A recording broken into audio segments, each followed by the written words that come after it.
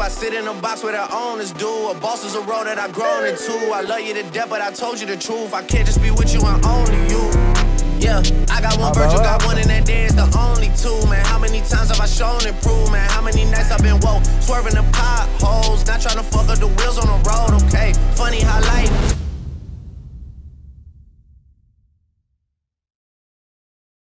Yo les gars, c'est comment? Vous allez bien? Ici on est là pour la Drop is Dead série 1.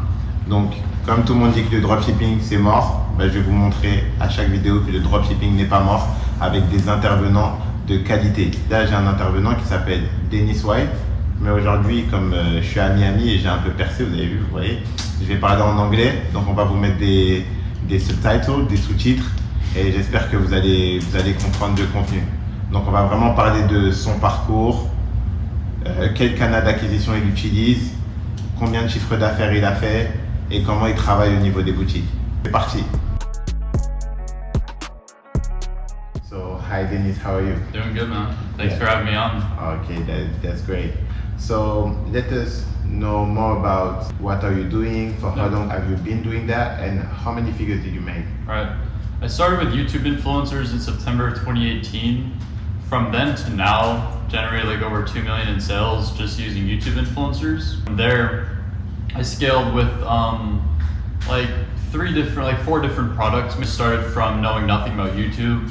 Um, you know, I had a client who was doing good figures on Facebook, and then we brought him over to um, YouTube while Facebook was going. So it was like both going on. Yeah, that store did like 682k in total when we, you know, throughout the whole scale. Over a little over 300,000 was tracked on the Facebook ad account. So like the rest was from you know the YouTube influencers. I was really able to learn how to scale. Like I was scaling like every single day.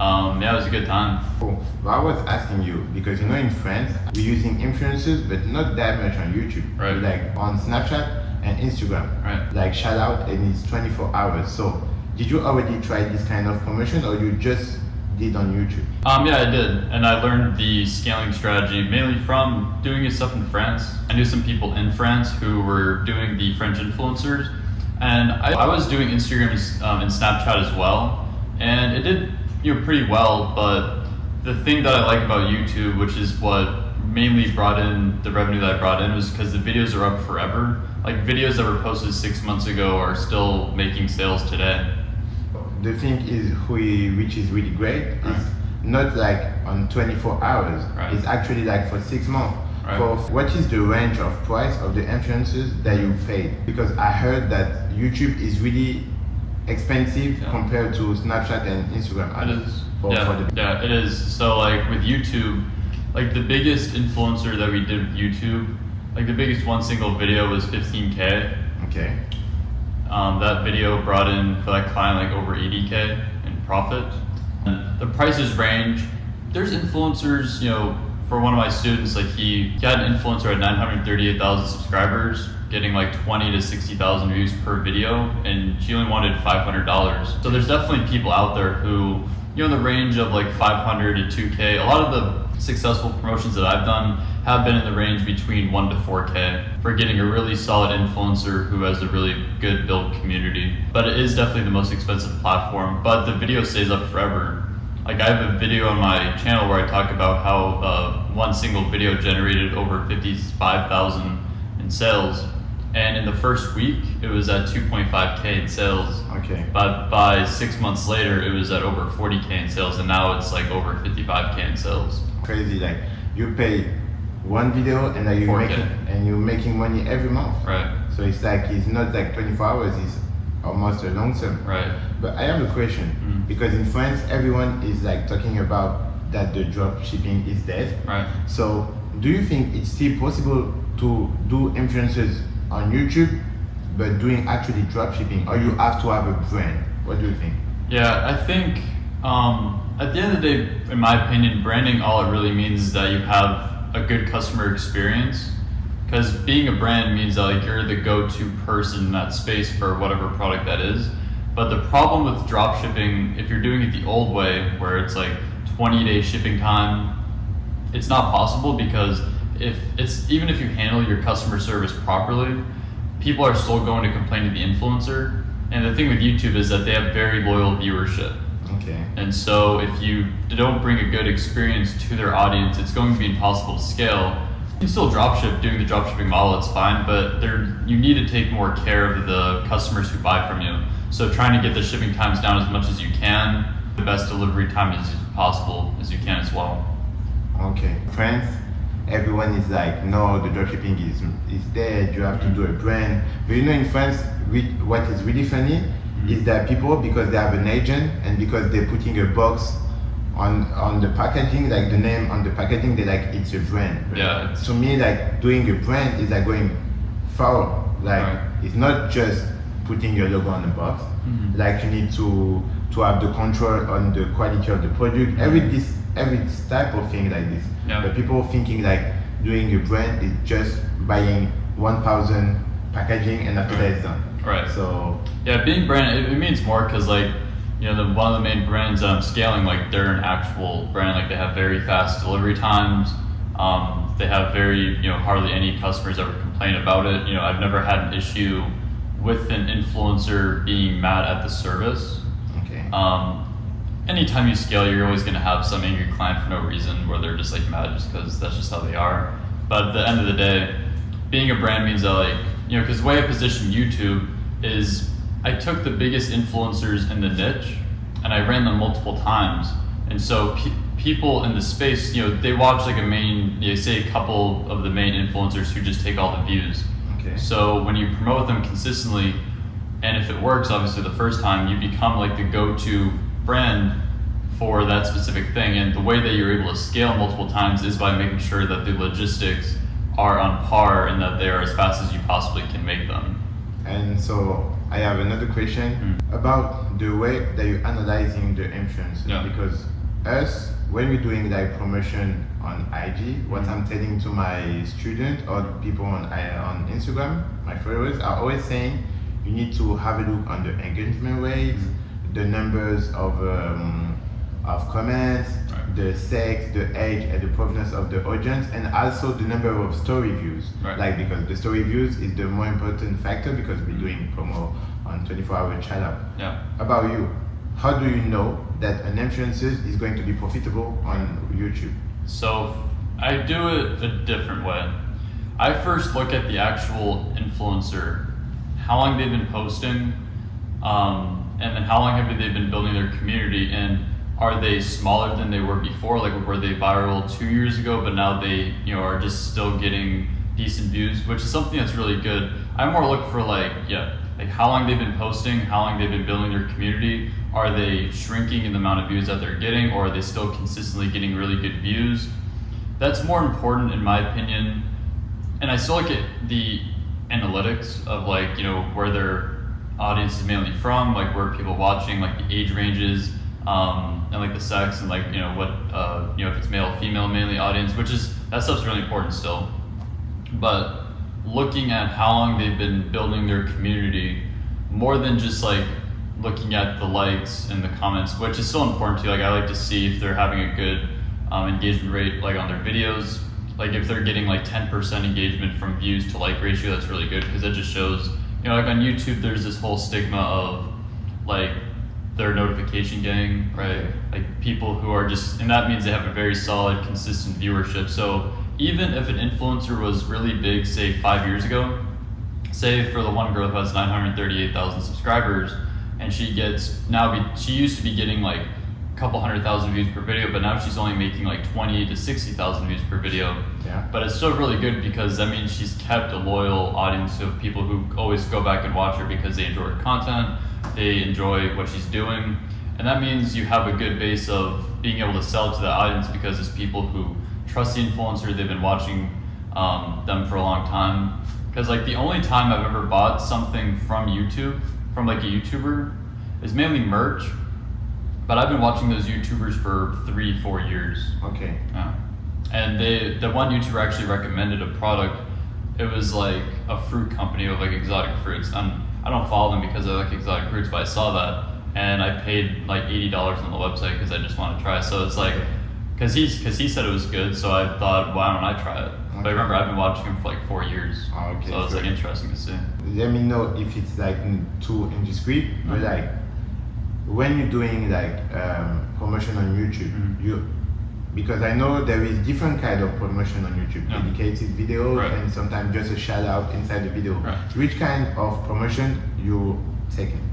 I don't do dedicated video, but I do a style where the product is integrated inside of the video, whether say, you know, it's a part of the strategy, a part of the video, right? So instead of it being a dedicated video, because the dedicated video is good, but it won't go as viral and won't get as many views because it's a more specific title.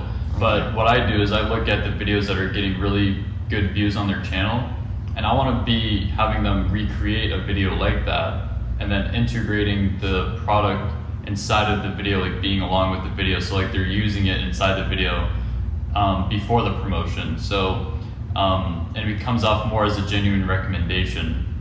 Okay, Yeah. But you know that's really small what you're saying because myself, Mm. if I would I would have done on YouTube, Mm. I was thinking that I was going to take like a dedicated video, Right. like like she talking only about my project, but like as you said, it's not going to be viral because the title is going to be today I'm trying this project. But Right. because people don't know your brand, maybe Right. you're going to have low views. Right. But that's funny because it's more expensive to do dedicated video. Yeah.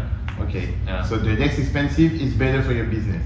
Right, because it's better because like they're integrating your product like with it, and um, I I really try to minimize the risk. So I want to like try to almost guarantee myself that if I get in one of these videos, say if the one video got three hundred thousand views, I want to recreate that video and once a video title goes viral once, it will always consistently gain for a certain amount of time the same you know around the same amount of views. So I want to I want to minimize the randomness of the views and I want to try to get in a really good video that got good views and then just doing the integration side of the video, which the integrations, you know, depending on the YouTuber, some YouTubers are more lenient than others, but I like to do a two to three minute integrations of them using it, but the actual promotion being like two to three minutes. Okay, okay, two to three minutes. Yeah. Okay, I, I, I was thinking that it would be longer than that, mm-hmm. but Sometimes, I mean, I've had a lot of ads that have gone more like five minutes, which is funny. yeah, which is really fine. And so, um, did you try TikTok? Because us in France, Yeah. that's why I was really shocked about YouTube because us in France, we like if there is no swipe up, Yeah. there is no money. Yeah. And now you're telling me the contrary. Maybe if there is not a swipe up, maybe it's better because if the client the client is clicking on the link, that's maybe it's really interesting. Yeah. But making a swipe up is is easy. Right. So sometimes you have plenty of people, but they're not really interested. They just Right. they're just curious. Yeah, no, I get that because like once you do something for so long, you get consistent results. Looking at other things with Exactly. TikTok, it's it's becoming very normalized to click their link in bio because that's TikTok is out of that for most creators now, and it's very normal in in the space of TikTok to go from a video to link, clicking their Linktree, which is like they have multiple links inside of it. Mm-hmm. So, and then when if you do promotion, you're usually put at the top.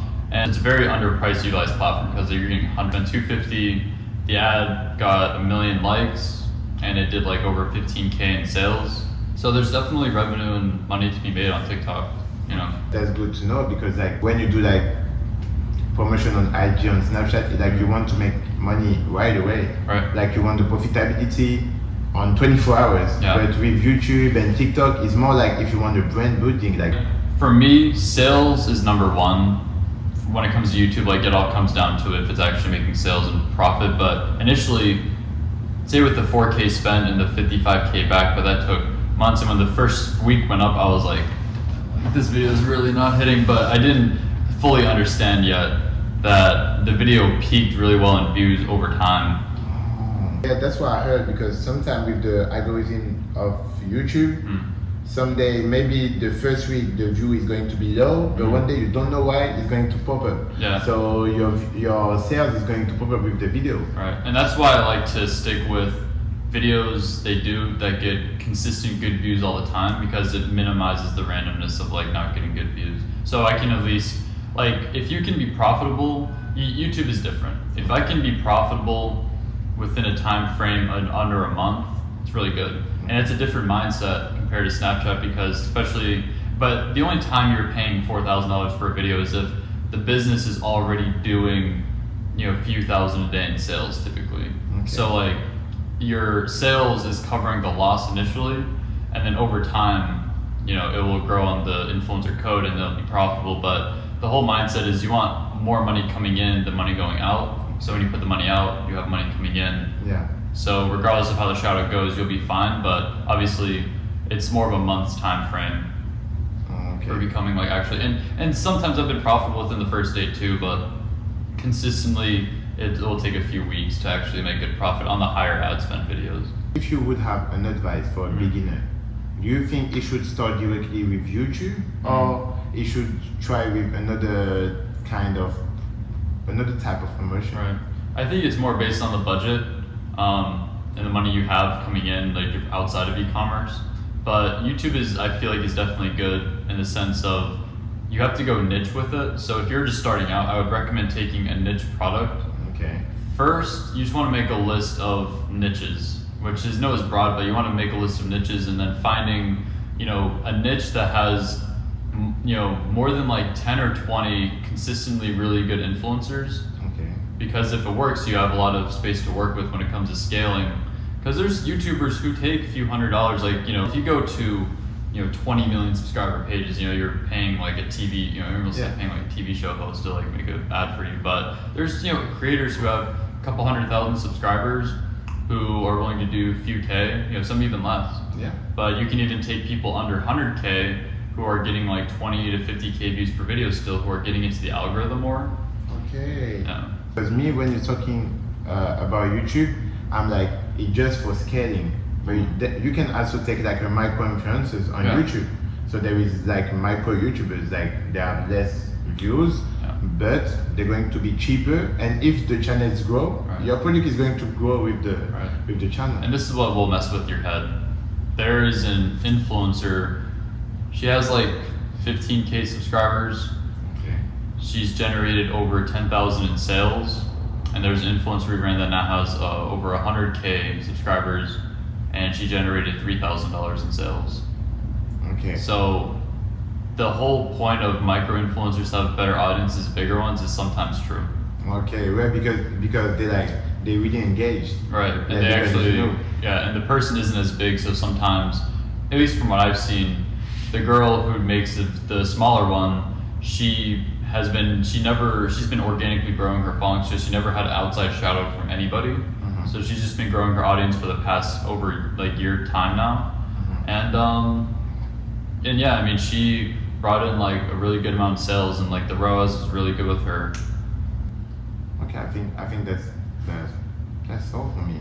Yeah. Like I'm not going to to ask you too much question because otherwise people they're not going to ask you question Right. because I'm going to talk to them about what you propose to people. Right. Euh, en fait, du coup, euh, Denis, à côté de ça, il a une agence qui aide des personnes qui souhaitent scaler leur marque sur YouTube à se lancer sur YouTube, que ce soit aux États-Unis ou à l'étranger.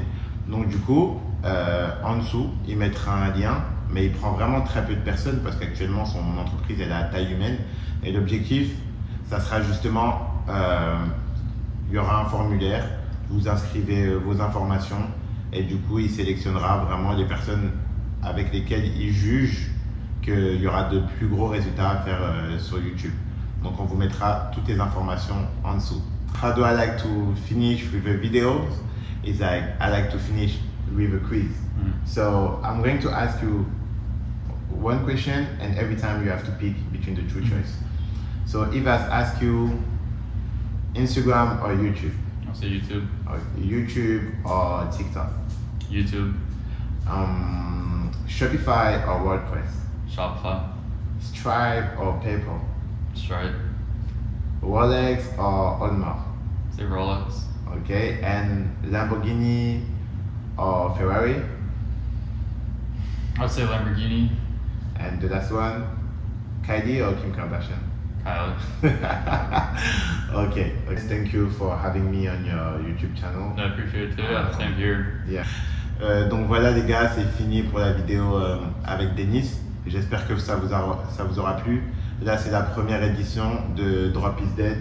L'objectif c'est quoi? C'est que chaque mois, non seulement il y aura des études de cas, mais ça ça n'a rien à voir. Et de temps en temps il y aura des interviews avec des personnes qui vont vous donner confiance au dropshipping et vous faire comprendre que le dropshipping, ça marche toujours. Maintenant, il faut le faire de manière plus smart, il faut être plus intelligent, il faut faire plus attention aux clients, respecter les délais et à partir de ce moment-là, tout ira bien. Donc là, c'était la première édition. J'espère que ça vous a plu et on se dit à très bientôt. Bisous, bisous, bisous. Peace. Peace.